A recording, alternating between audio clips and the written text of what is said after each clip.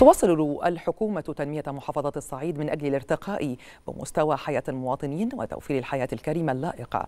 وتعد محافظات الوجه القبلي على رأس أجندة العمل الوطني التنموي.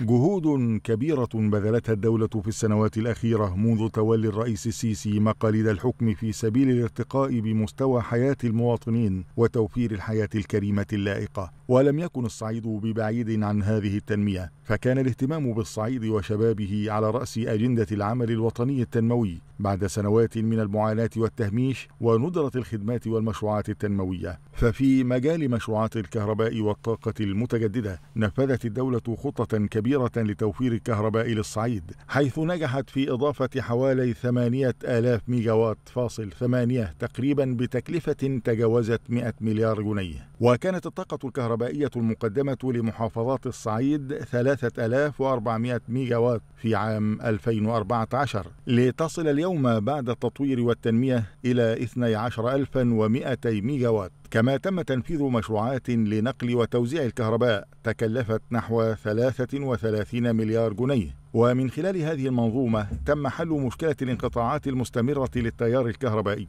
محافظة أسوان شهدت إنشاء أحد أكبر مشروعات الطاقة الجديدة والمتجددة على مستوى العالم وهو مشروع بنبان للطاقة الشمسية الذي يعد أكبر مشروع للطاقة الشمسية على مستوى العالم. وتم تنفيذه بإجمالي استثمارات تجاوزت ملياري دولار. كما كان للصعيد نصيب من التطوير في قطاع البترول والغاز الطبيعي حيث تم توصيله لأكثر من مليون ومائة ألف وحدة سكنية. وتم كذلك تنفيذ العديد من المشروعات لتنمية حقول البترول ومصانع التكرير والتصنيع وتوصيل الغاز الطبيعي بمحافظات الصعيد. بالإضافة لافتتاح مجمع إنتاج بشركة أصوت لتكرير البترول لتأمين إمدادات الوقود لأهل الصعيد. هي إذا جهود كبيرة بذلتها وتبذلها الدولة لتغيير وجه الصعيد وتوفير الحياة الكريمة اللائقة بالمواطنين.